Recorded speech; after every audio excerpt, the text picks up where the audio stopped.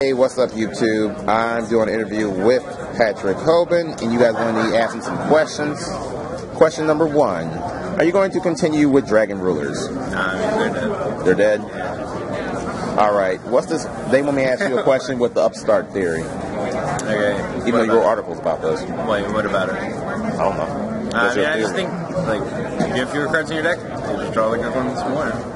All right. They said, Ask Hoban, what deck will he play in the new format as of right now? I mean, it seems like spellbooks, and I know Dalton's happy about it. I'm so happy right Uh, spellbooks, uh, Infernity seem really good, just because they can do unfair things. Because they didn't get touched. Uh, Mermails. Probably those. Like, All right. Try out those. Asked him what he recognized the reason he become much better as of late. He used to used to used to use the bubble a lot. Yeah. What like changed for you? Um, well, I pretty much learned how to side deck. Like, before I really used the to side deck.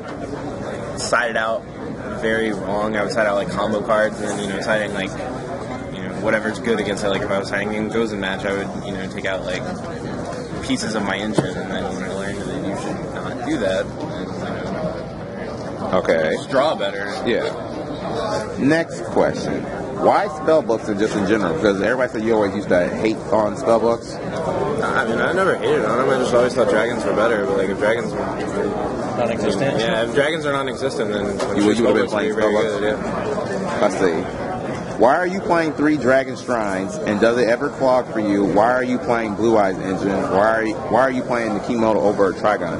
Okay, uh, Dragon Shrine, uh, it essentially just gives you more dragons in the mirror. Like, if you open just a few elements, you can, if you Dragon Shrine into guard, send Whitestone, and then send Blue Eyes, like, you're just really far ahead. With three shrines, you'll just always have more dragons than them in the mirror.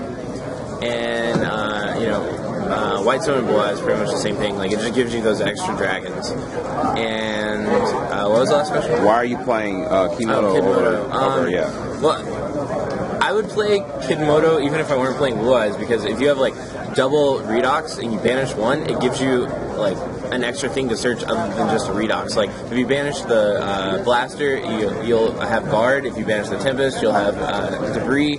But with redox, it gives you like that extra like value if you have multiple redoxes. And it's also just even better uh, with Blue Eyes because it lets you go into Azure Eyes, which is really really strong. All right. Thanks, Pat. Patrick, for the quick interview. Yep. You going to any more circuit series? Yep, uh, I'll probably be at all of them. I'll definitely be in Nashville. You be in Nashville? Yep. All right, guys. See you guys later. Yeah.